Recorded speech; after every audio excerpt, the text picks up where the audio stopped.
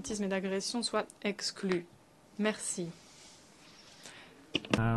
Merci. La parole est à la Chine pour une deuxième intervention. Merci, Monsieur le Président.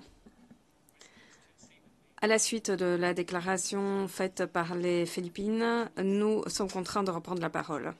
La Chine n'accepte pas, ne reconnaît pas le prétendu arbitrage sur la mer de Chine méridionale.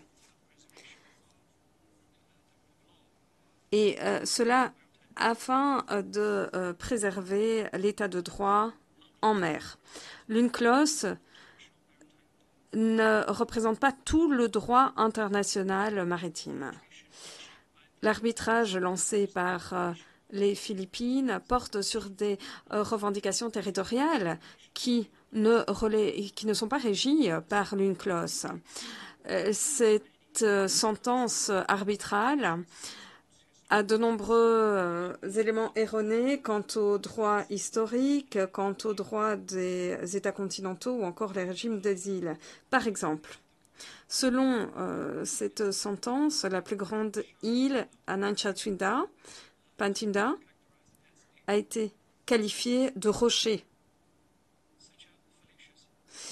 Ce jugement fallacieux sape gravement la crédibilité de ce mécanisme de règlement des différends prévu par l'UNCLOS. Si cet argument dans le jugement a été accepté, alors de nombreuses îles euh, de pays euh, seront considérées comme des rochers et n'auront pas alors euh, de droit, tous leurs droits maritimes sur ces îles la Chine veut maintenir ses droits maritimes, ses intérêts en mer.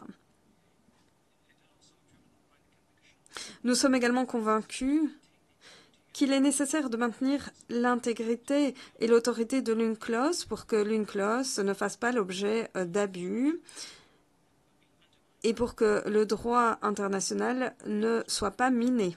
Je vous remercie, Monsieur le Président. Merci.